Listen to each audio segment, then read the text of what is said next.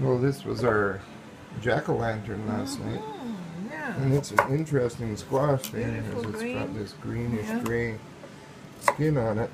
Mm-hmm. And it looks like nice, fleshy, orangey fruit. Yeah, absolutely beautiful color. Now there's two things you can do with it off the top of my head. I'm sure there are more things you can do.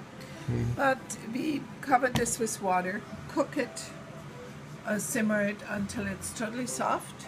Yeah, And then it looks like this here, right. Yeah. right? And then I just smush this up and, and use it for, for my pumpkin bread, for Using my in, pumpkin buns.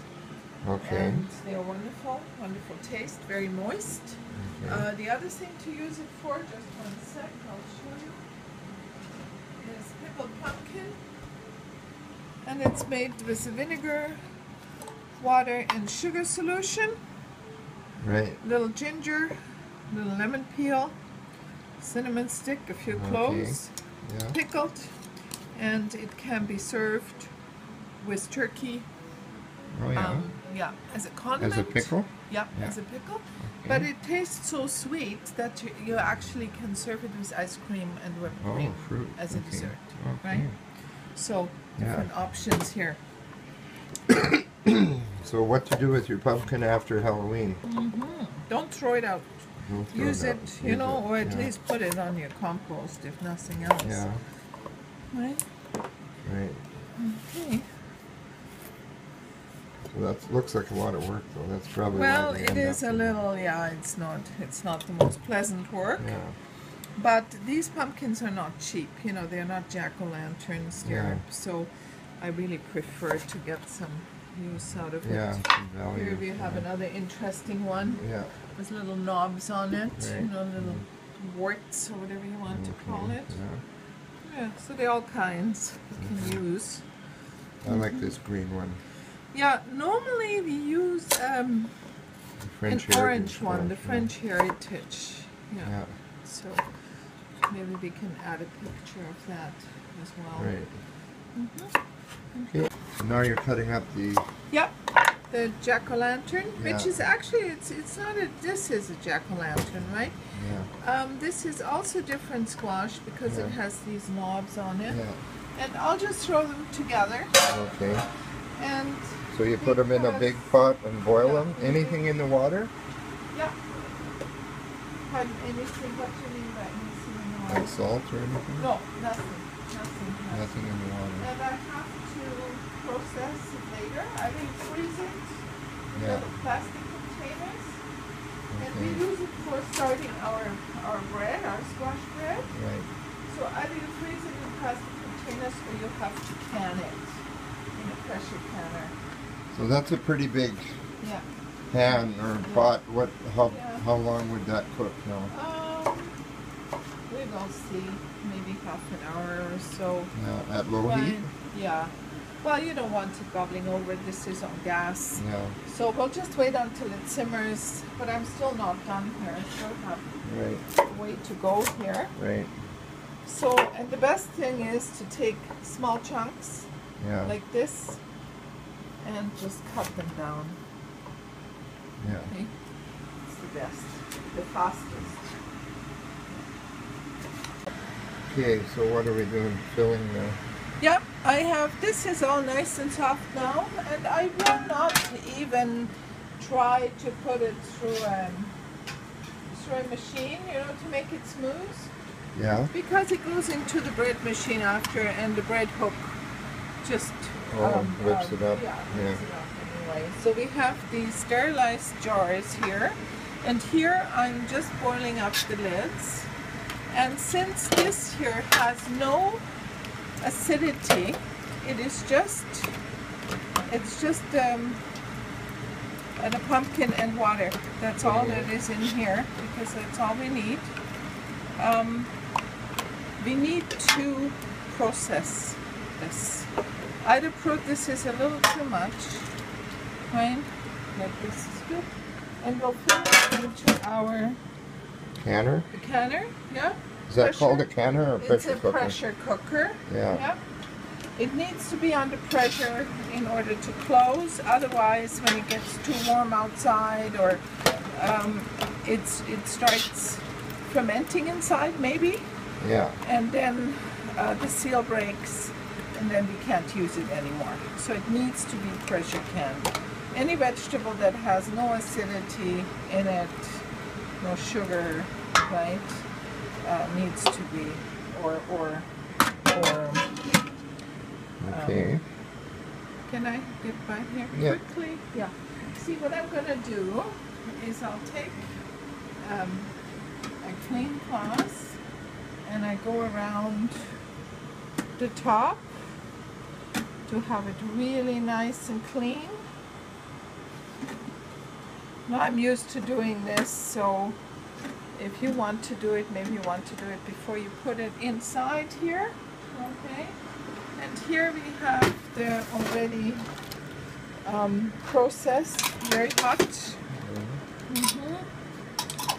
And we'll put it on, and now please look. You put it on, but you just close it. Okay? It has a lot more, more, more. Um, you, you could close it further, but all you do is you just close it like this. That's all you do, right? Because that way uh, the air can escape and it can be under vacuum, can be set under vacuum, right? So we'll do this with all of, of these jars here. And once this is done, we will fill it up with water to the top and put it on the stove and then we'll come back. Okay. So here's the pressure cooker. Yeah. Now the thing with the pressure cooker is it has to go on an electric stove. It cannot go on a gas stove. Uh, for Okay. some, it's just too, you know, it's an aluminium Yeah. cooker. So what I do here, I put very hot water in. I don't want to have a difference, too much of a difference in, in temperature. Here is the leftover water from the lids, from boiling up the lids. I'll put that in too.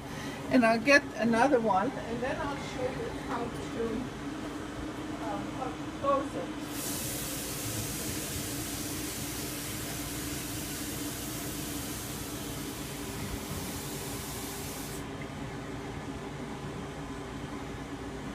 And this process of canning goes for anything you want to can. And I can talk about the differences after. You can also can a stew if you want to, right? Okay. So, now. So you you want to kind of submerge them down a little? Yes. And what we'll do, you see, there is a lip here in the front, Yeah. and here we have a little point, yeah? And here we have the same little point here. You see it here? Mm-hmm. Okay, you see it? Okay. I do.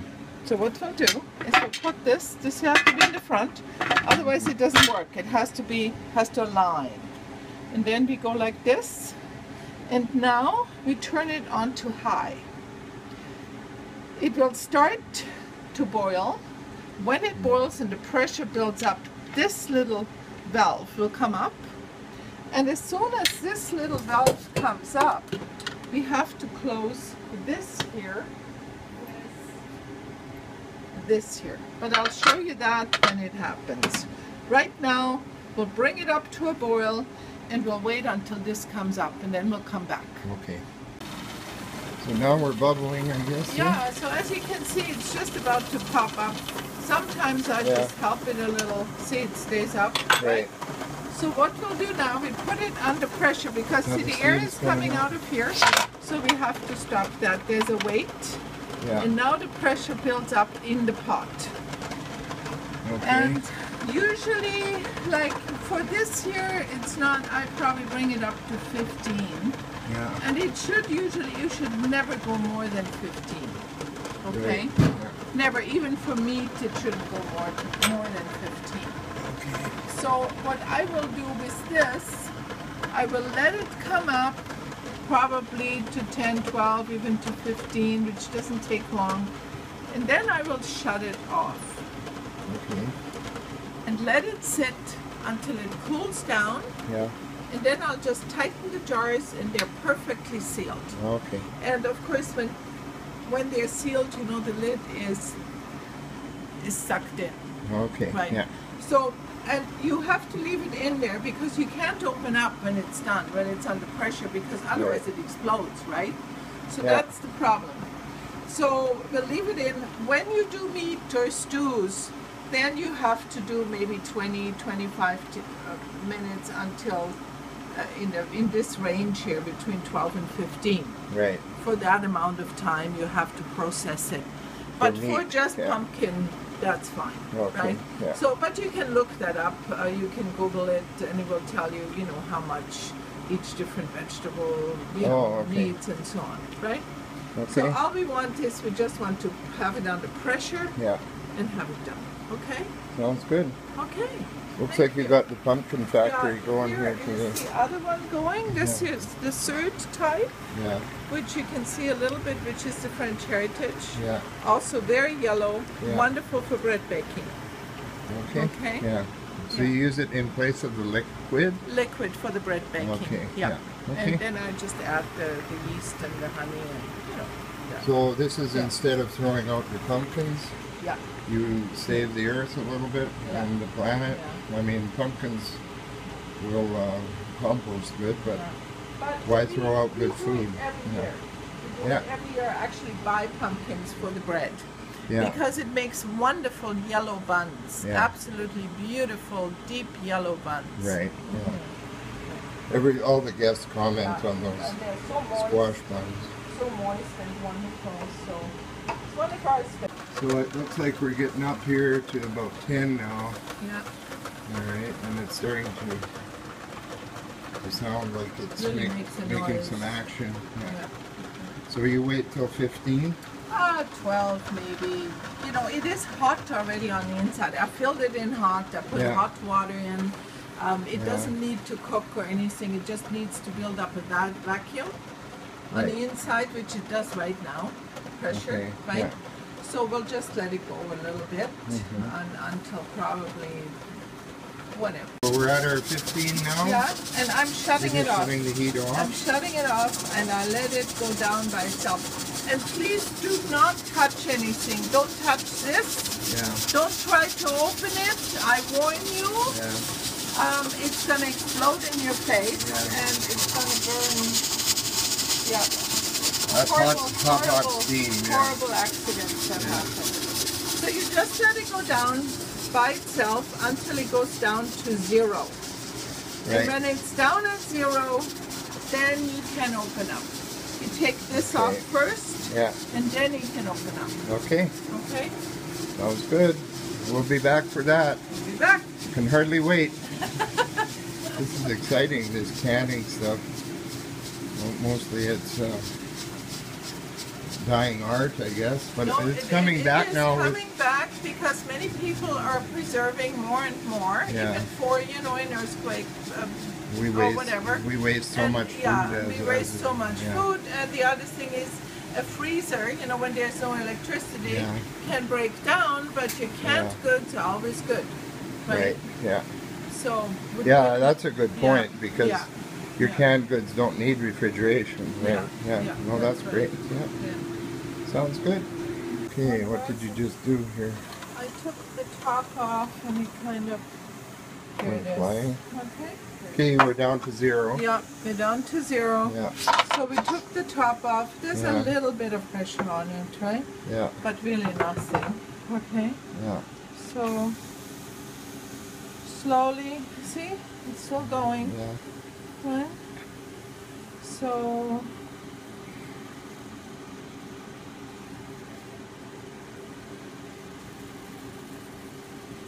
yeah.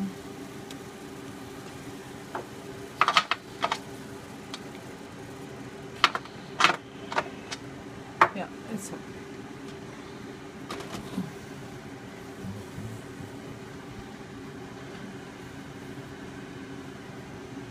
Actually, it doesn't open up, so it, I don't think it's it's ready yet. Yeah. It's not ready. There it goes. Oh, it is. Okay. You need a man's touch. Oh, I know, I know. So now look at this. Yeah. And if you like to stand back a little Yeah, bit, and I'm gonna put it onto Alright. the table. Is that what that's for? Yeah. And you Okay. always put it on a fat, thick cloth. Yeah. And now you can see why we don't fill it totally. See that's still because bubbling it's still there. bubbling, right? yeah. And we'll take them all out and you need one of these devices, one of these holders. Yeah. Get them in any canning supply. There are a few things you need for canning. One of them is Yeah. one of these, of course. Yeah. And um, this is quite hot. So I'm just gonna put it like this. So they're all still bubbling inside. And this. I remember my grandma and my mom canning for days on end and every fall. Yeah, that was the old way, and it's coming again. We have many people here at the B&B who all start to can again. So what Yeah. we'll do here now is we'll take a, a cloth, and you have to hold it with a cloth, and you just tighten it. Okay? Just tighten it. Because see, this is very, is very light, right? Yeah. And we just tighten it. So when you put them in, they're sort of loose. Yeah. Okay. Because then But they're air, sealed so the other water Yeah, yeah. can't get in, Yeah, yeah. right? Well, then the air can can uh, Come out, can- yeah. you know, the, it can steam out Yeah. because see it, it, and then a vacuum, yeah. a vacuum. When that cools, it'll form Yeah. a vacuum. Yeah. It already forms a vacuum. No, these are not quite close, but they will. So Yeah. what you do to be extremely careful with this Yeah. is you put this on top. Yeah. And then if you want, I have a few towels here, you just put them on top. And why is that? Like, you like them to cool down Slowly. very So, slowly. so you put them to bed, yeah, kind of. yeah, okay. I put them a little bit to bed here.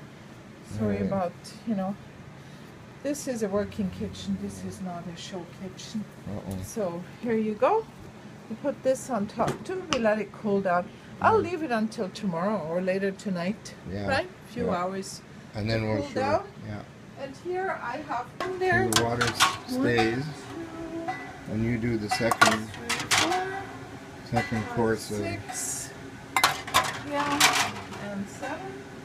Let's see, we don't even have to add water. Comes all up Okay, to here. So what we'll do here is we do the same thing again. Probably need a man. it on. You didn't need a man for that. Well, yeah, I do. Only Just for to stand by, just to stand by. And give orders. Just yes. okay, so we'll do the same here again. Okay. And actually, with these three pumpkins, we have about 20 jars of this here, Yeah.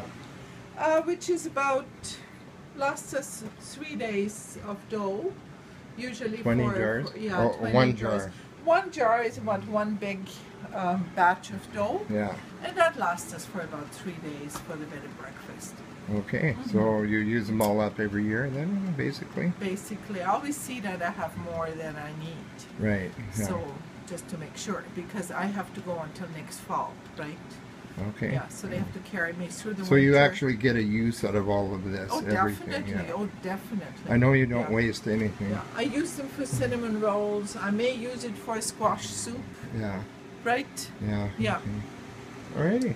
Yeah. Morning, Vanessa. Oh, good morning, Dean. We're just uncovering our our Canning. canning, and as you can see, Yeah. I tightened them. But when you untighten them, they Yeah, are totally no, no, you can't. yeah. They're really they're much firmer than if you. yeah. They're much firmer when you do. So they're yeah. suck in, right? Yeah, they suck in and nothing sticking out. Otherwise, it would have kind of a hollow. Um, or when you press on them, Yeah. they would just go right up and down Yeah, like yeah. this. So that's it. And now they're going to be put away. I just put a little label on Yeah. October 2014. Right. And uh, here we So successful canning means you've created a vacuum in here we have the other batch. Yeah. See, we have a whole bunch, and they're Yeah. lasting us for quite a while. Yeah, Okay. wonderful.